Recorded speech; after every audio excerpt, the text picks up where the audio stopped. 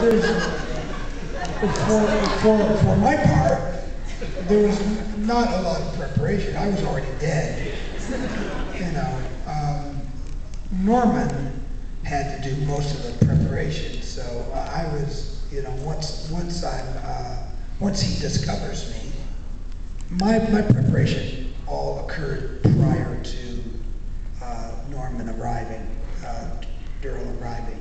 So uh, when I look up, you know, obviously I'm already dead, and uh, I, the, some people have posed there is some recognition as I look up and I see my brother there, and um, and that question has been posed early on in the very first episode. It- you know, when when the question was, do, do they remember, or do they do they still have emotions? Are they still seeing uh, seeing their loved ones before before they eat them?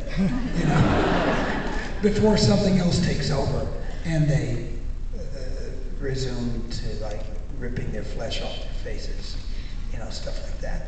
But there is that moment, that, that tiny little moment, and they made the very special contact lenses for me for that for that moment, so that when I do look up, you can still see my eyes through the contact lenses, so that whatever, however I end up playing it, will seen through the contact lenses so that they're not so, you know, dark or, or evil looking. And so you see the emotion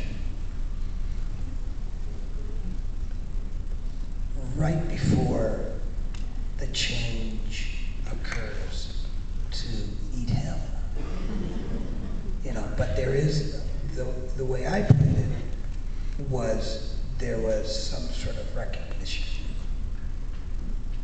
And then it changes. And that's sort of, that change occurred internally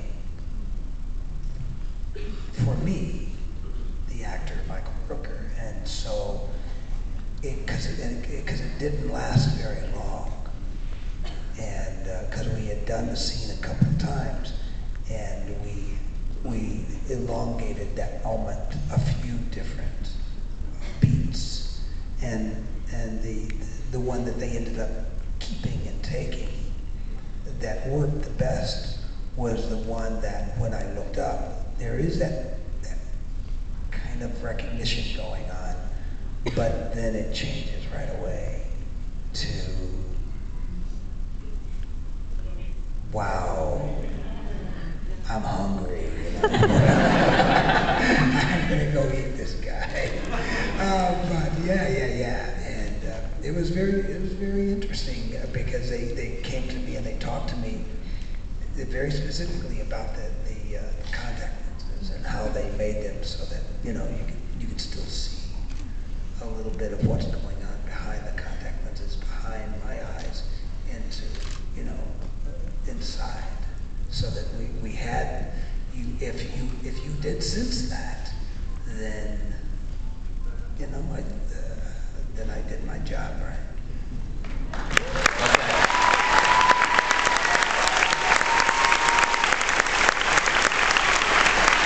Gentlemen,